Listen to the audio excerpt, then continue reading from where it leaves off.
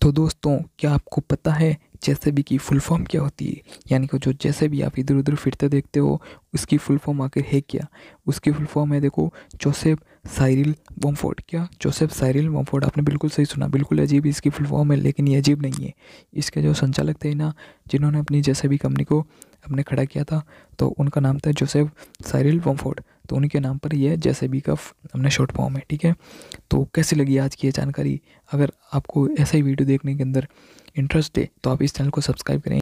दोस्तों के साथ शेयर भी करें। मिलता है नेक्स्ट वीडियो के अंदर, तब तक ले जय हिंद, जय भारत।